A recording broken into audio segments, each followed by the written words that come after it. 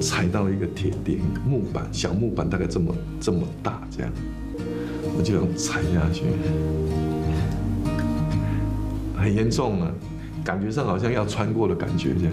回想起小时候的惨痛教训，让副总统赖清德忍不住笑出来。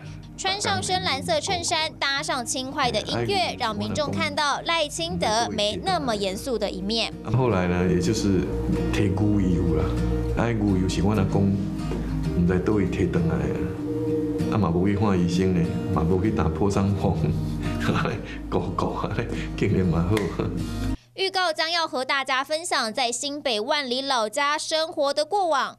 赖清德的 YouTube 在三号正式开张，接下来的一个月，大概一周会推出一支影片，主要是谈论过去人生的小故事。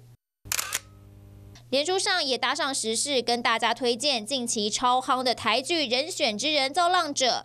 照片中，赖清德单手插口袋，微微靠在办公桌上，身旁有一群年轻幕僚围绕，几乎百分之百还原影集的剧照。赖清德要拉近跟年轻人距离，不管是跑行程，或是接见外团，甚至是体验时下最流行的美食。他近期也在 IG 上频频推出 Reels 影片，一周大约三到四篇，每一部点阅率都超高，观看人数平均两万人起跳。不过现在外界也很关注赖清德否会出席我国友邦巴拉圭总统当选人的就职典礼。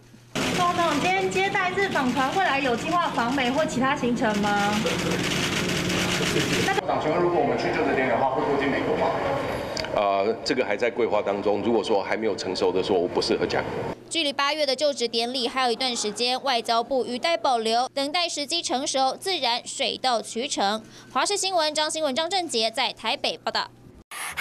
我是庄宇杰，想要看到更多的新闻内容吗？赶快订阅华视新闻的 YouTube 频道，并且开启小铃铛，跟着宇杰一起看新闻吧。